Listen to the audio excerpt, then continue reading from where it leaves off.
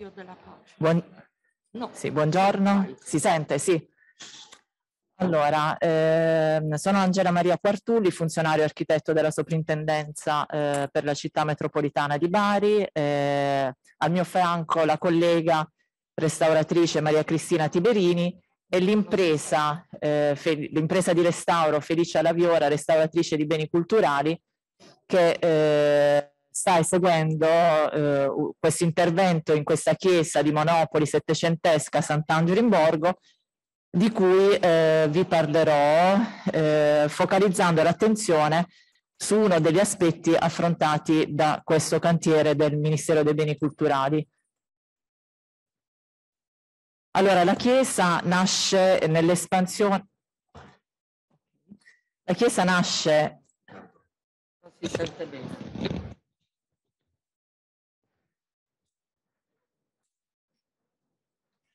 Allora, la chiesa eh, viene realizzata nell'espansione eh, quattrocentesca della città di Monopoli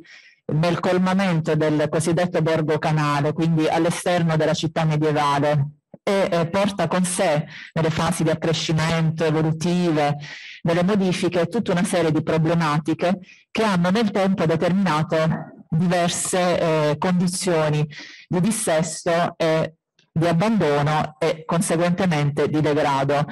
Eh, quindi abbiamo la prima edificazione che si fa risalire nel XV secolo, c'è una riedificazione eh, con, diciamo, su un livello eh, cittadino più alto rispetto alla primitiva costruzione nel 1675 con una rotazione della, della, della sua configurazione planimetrica e un'espansione per far posto ad una nascente istituzione religiosa, un complesso conventuale e alla nuova chiesa di San eh, Giuseppe Anna che sorgerà proprio alle sue spalle, alle spalle attuali, quelle che un tempo erano invece lo slargo su cui affacciava il, eh, diciamo, il precedente prospetto subisce nel tempo una serie di arricchimenti formali con la realizzazione sia dell'apparato decorativo a stucchi, l'altare maggiore, eh, il cappellone eh, laterale e così nel tempo continua ad avere delle modifiche formali così come diciamo si evolveva anche il gusto del tempo e la volontà del clero che la governava, fino ad arrivare nella prima metà del Novecento con problematiche di dissesto probabilmente causate anche da debolezze eh, come dire eh, congenite alla, proprio alla sua stessa costruzione in quanto nata per eh, successivi ampliamenti, accostamenti di strutture, quindi ehm, strutture nate in affiancamento con delle sezioni resistenti inadeguate, quindi già dai primi anni del Novecento, nella Prima Guerra Mondiale, si incominciano a registrare i primi dissesti, dopo la Seconda Guerra Mondiale Monopoli fu diciamo, uno dei centri che subì una serie di danneggiamenti, incomincia questo declino, un declino che l'ha portata ad un abbandono e eh, diciamo, ad arrivare ad interventi urgenti eseguiti dalla soprintendenza già nei primi anni, questa è la situazione, ecco, nel 2015 interveniamo come soprintendenza perché il dissesto era andato avanti. La situazione che trovo io come direttore lavori, quindi intervento della soprintendenza, era questa, le, diffuse manifestazioni biologiche, alterazioni, degrado, perdite, distacchi, rigonfiamenti dell'intonaci, lesioni strutturali, deformazioni strutturali. Da ricerche di archivio in soprintendenza emerge appunto che la Chiesa aveva subito un primo intervento di messa in sicurezza per rotazione, quindi per ribaltamento della parete laterale non contrastata sulla strada negli anni 70 e questo intervento portò avanti diciamo tutta una serie di operazioni che oggi escluderemo mh, per, perché nel, diciamo, in quella che era l'intervento dell'epoca, quindi il materiale, la conoscenza de, dei nuovi materiali all'epoca, portarono appunto all'inserimento di eh, diverse strutture cementizie mh, per collegare porzioni murarie, per collegare le murature perimetrali, quindi con la realizzazione di una, una cappa cementizia che tradizionalmente si realizzava in quegli anni, come eh, elemento di cerchiamento, di, di, di, contenimento diciamo, delle pareti laterali, però anche la, ehm, dire, le, le, la, la poca conoscenza anche del materiale non lo faceva spesso applicare eh, diciamo con le regole dell'arte. E quello che nel 2015 abbiamo ritrovato eh, perché dopo questo intervento del 70 la chiesa continua a rimanere in abbandono la copertura non viene ehm, eh, cioè la, la struttura l'estradossale con questa doppia calotta non viene ricoperta da un manto di protezione quindi rimane priva di copertura questa copertura, eh, quindi con le, le infiltrazioni, le, le, deformazioni, le infiltrazioni, eh, in, aveva perso diciamo, le sue caratteristiche, tanto poi da determinare tutta una serie di alterazioni all'interno della chiesa, che già comunque sussistevano, come dicevo, dai primi anni del Novecento. Questa era la situazione all'interno, prima dell'intervento di messa in sicurezza degli anni 70, quindi abbiamo le, diciamo, la volta della chiesa, l'intrarosso della volta decorata con diversi eh, eh, fenomeni di degrado, diverse mancanze. Una porzione della volta viene, quindi della decorazione della volta, a causa della deformazione, delle fessurazioni in chiave per il ribaltamento di una parete, eh, viene completamente rimossa per poter operare con delle stirature cementizie e l'inserimento di una serie di incatenamenti. Questo era un confronto quindi fra la situazione al 1972 e la situazione al 2015 che ritroviamo eh, appunto quando reinterveniamo in somma urgenza e vediamo come appunto l'intervento effettuato nel 72 elimina completamente tutta la prima campata, la parte decorativa della prima campata, che infatti ritroviamo completamente spoglia vediamo tutta una serie di alterazioni biologiche, fessurazioni, eh, distacchi, fluorescenze, alterazioni cromatiche. Quindi inizia un primo intervento di messa in sicurezza, perché l'intervento principale nel 2015 fu un intervento molto esiguo dal punto di vista economico e quindi si è potuto operare solo sulle strutture danneggiate, quindi per poi eh, eh, eh, intervenendo diciamo semplicemente a contenere eh, eventuali cadute del, de, delle porzioni volumetriche che costituivano gli alto e i basso rilievi del, in stucco dell'apparato decorativo intradossale. Questa è la parte absidale, quindi con il catino, il grande altare, uno dei pochi in Puglia con baldacchino,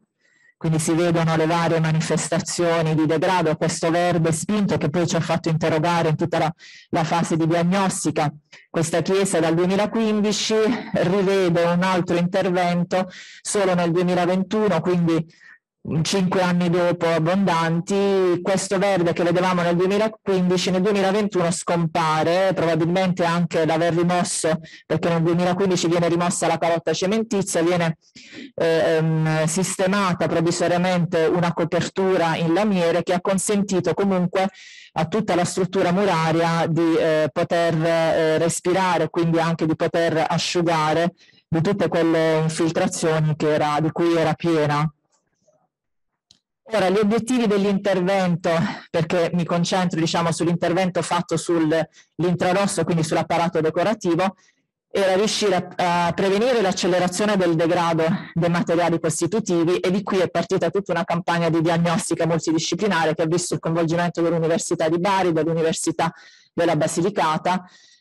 tecnici, ingegneri, specialisti in termografia per poi arrivare a fare delle valutazioni critiche sulle varie patologie individuate, sulle varie modalità di alterazione che avevano caratterizzato, diciamo, che hanno caratterizzato la, mm, dire, le varie fasi anche evolutive del, eh, e di abbandono della Chiesa e quindi sulla base di quelle il collegamento, l'interconnessione fra eh, le varie informazioni eh, la, la, decisione dell'intervento da eseguire. Sicuramente ecco, l'orientamento generale è stato eh, un orientamento di tipo conservativo sulla materia,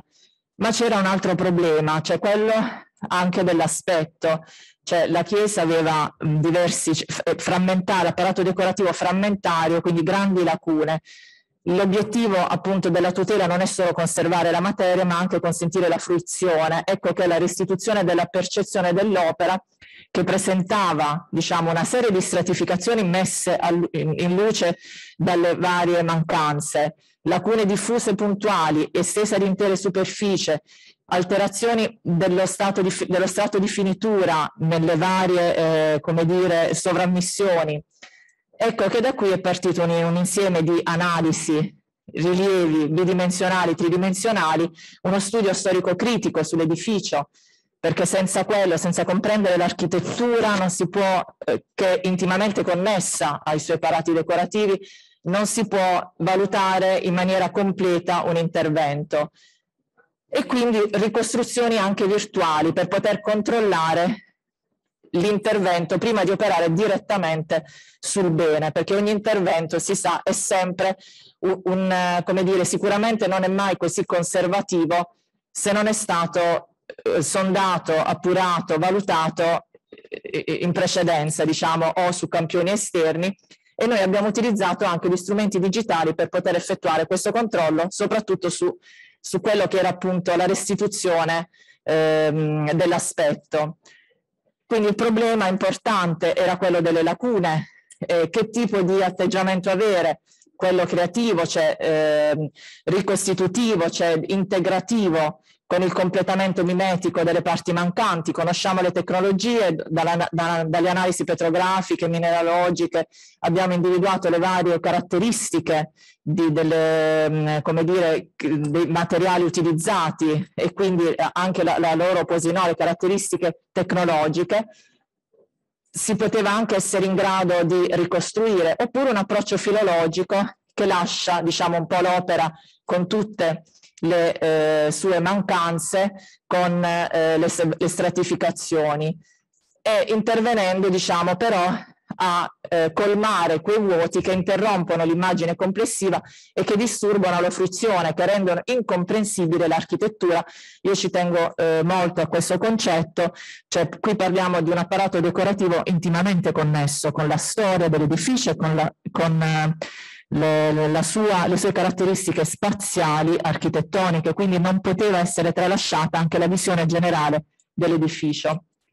Quindi un approccio critico. Il restauro infatti non può riguardare solo la materia, ma anche l'immagine, perché solo insieme sono in grado di garantire la fruizione del valore di quell'opera e del suo significato ai posteri. Quindi si decide di non ricostruire l'integrità formale materica, si cerca una rispondenza delle singole parti con l'architettura complessiva si ricerca un'unità formale, cioè la capacità di produrre nel fruitore almeno una visione d'insieme coerente. Le fasi di analisi, la diagnostica strutturale è importante perché l'apparato decorativo porta in sé le tracce delle deformazioni subite dalla Chiesa, comprendere le fessurazioni se sono ferme, se sono in avanzamento, che tipo di distacchi può aver eh, generato una deformazione, un abbassamento, la rotazione dell'arco, la rotazione della parete per poter intervenire anche in sicurezza a conservare diciamo, e a mantenere la sicurezza tutti gli elementi in oggetto perché eh, elementi in alto, rilievi, eh, in alto rilievo sono numerosi soprattutto nella parte del catino absidale e nella parte centrale della navata eh, ma mappatura del degrado e, e indicazione degli interventi, queste fasi di analisi che sono state riportate sulle fotografie,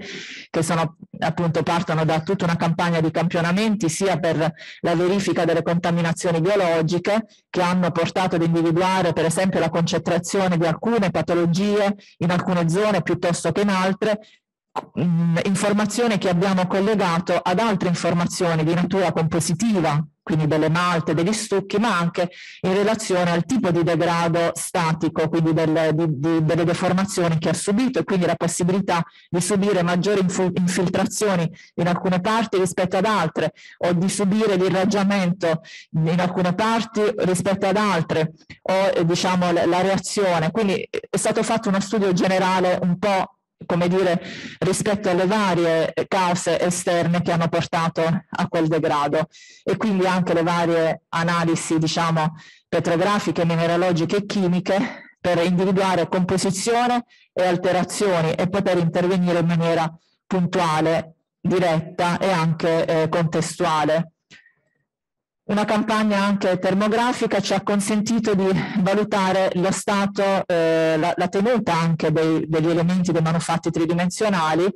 l'adesione al supporto strutturale per poter operare, quindi lì dove l'occhio non consente di vedere e per poter consegnare un domani la Chiesa alla fruizione, diciamo, eh, in sicurezza.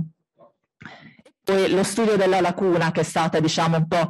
quella attraverso cui eh, abbiamo ritenuto utile utilizzare gli strumenti digitali per poter virtualmente prefigurarci diciamo, quelle che potevano essere le scelte di intervento attraverso la fotografia in primis, quello che avevamo degli anni 70,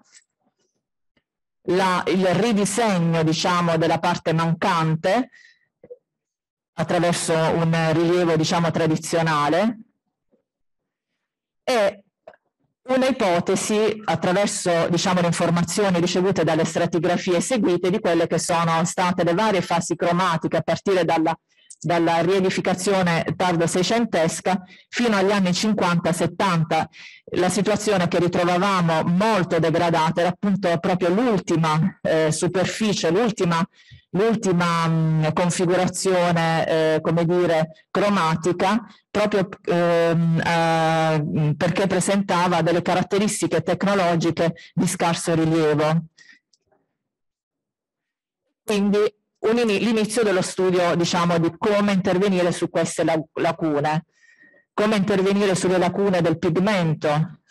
lacune dovute ad assenze, ma anche alterazioni dovute a, appunto alla, alla, alla, carbonatazione di una serie di fenomeni eh, appunto alternativi che eh, erano diventati, si erano come dire fusi con gli strati inferiori.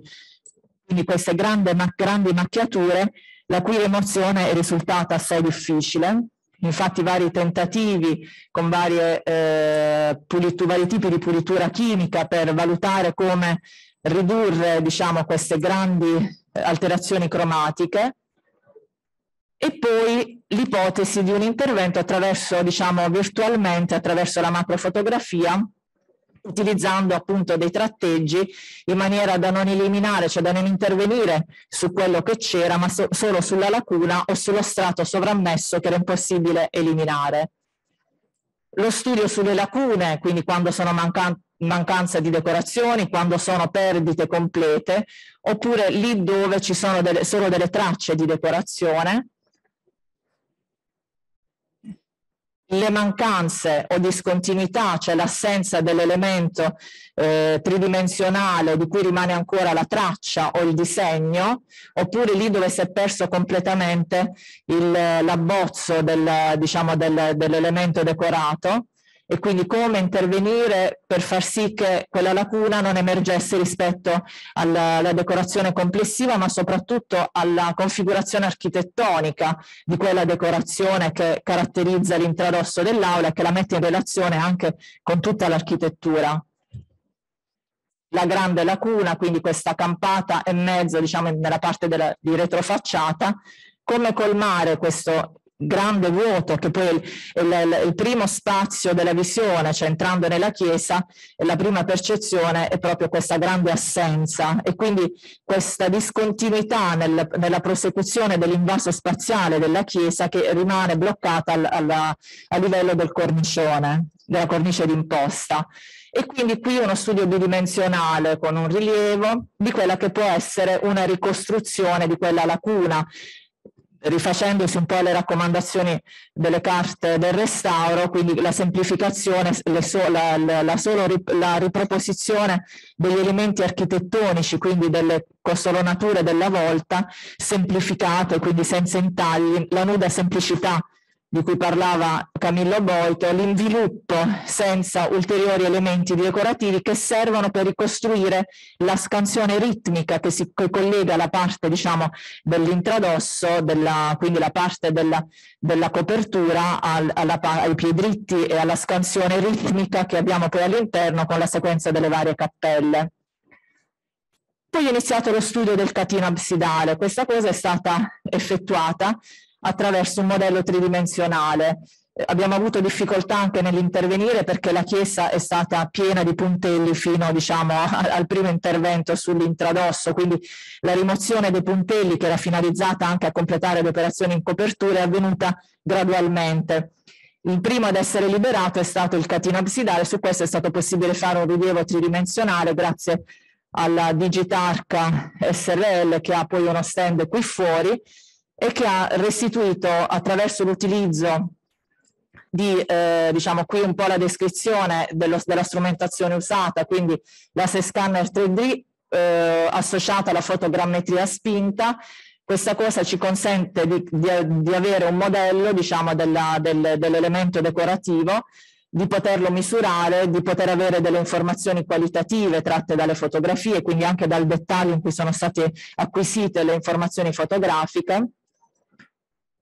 Abbiamo la possibilità di ricavare di, eh, delle, delle, delle, sezioni ortogonali, di ragionare sul concetto diciamo, delle, ehm, delle, delle stratigrafie, quindi del pigmento, e quindi a questo punto dovendo rinunciare a mostrare tutti insieme per dare ordine anche per eliminare il degrado perché eh, sotto le prime due superfici eh, decorate eh, si erano, ehm, eh, c'erano, eh, erano in atto sia delle solfatazioni che eh, le, mm, la diffusione di, un, eh, dire, di patologie eh, di degrado biologico, eh, cioè formazioni ehm, batteriche che soprattutto nella parte più alta eh, sono state riscontrate, mentre la parte più bassa attacchi funginei che comunque avevano portato al distacco penetrando all'interno delle superfici superiori, quindi per poter rimuovere quelle eh, evidentemente bisognava comunque rimuovere l'ultima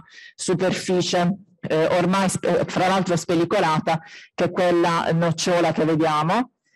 E quindi abbiamo provato a ricostruire le varie fasi cromatiche a partire dalla prima edizione, con i fondi azzurri e gli stucchi bianchi. Fra l'altro queste fasi cromatiche eh, scoperte attraverso un'analisi puntuale stratigrafica e, ehm, ci ha fatto anche ehm, riscontrare la diversa modalità eh, di, eh, come dire, di, di, presentazione architettonica dell'edificio in funzione anche degli spessori, dei colori, cioè delle dimensioni degli elementi di, di incorniciamento o di consolonatura. Questa è stata una fase intermedia, sempre con pittura a calce, dove diciamo, l'apparato decorativo assumeva appunto questo colore eh, monocromatico.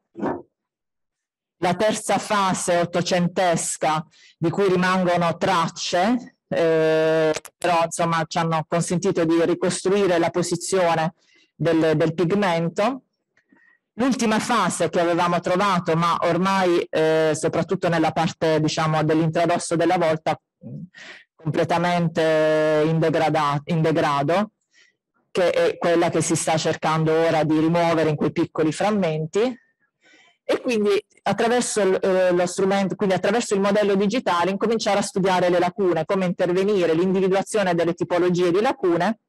e quello, diciamo, l'obiettivo che si vuole raggiungere, questo per poter controllare prima l'effetto finale piuttosto che farlo, diciamo, puntualmente una volta che si interviene, anche perché intervenendo puntualmente non si ha la visione d'insieme. Lo strumento digitale serve proprio a questo, a poter avere, diciamo, preliminarmente una visione generale e poter valutare la correttezza o meno dell'intervento. Un piccolo video che fa vedere un po' se parte. Non so se devo dare. Non parte. Sì, parte.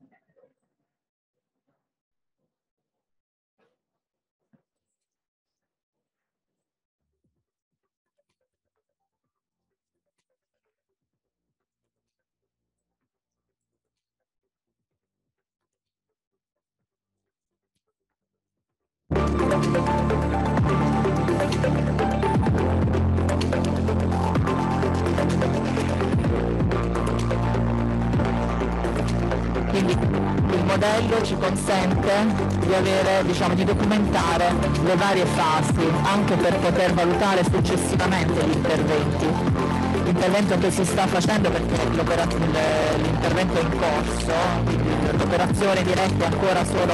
effettuata per, piccole, per piccoli campionamenti. Ed è diciamo, orientato alla conservazione della situazione e all'eliminazione del degrado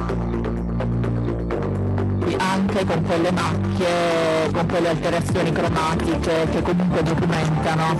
lì dove non sono, dove non innescono ulteriore degrado, documentano un po' la storia anche delle, di questi anni di abbandono e la trasformazione ormai avvenuta degli stessi materiali. Il modello ci consente di prendere delle effettive misure, quindi di darci informazioni di tipo quantitativo, qualitativo, introdurre una serie di eh, dire, eh, strati informativi interrogabili che servono appunto per portare avanti il progetto di restauro, per poterlo contabilizzare e per poter intervenire anche in seguito. Ora qui riporto un po' tutta la squadra di quelli che ho voluto coinvolgere fin dall'inizio. Stazione appaltante il segretariato regionale, la ditta esecutrice, l'Atis, GEAP e la Viola Felicia, indagini, università di Basilicata, di, di Bari, Dipartimento Geomineralogico. Grazie a tutti.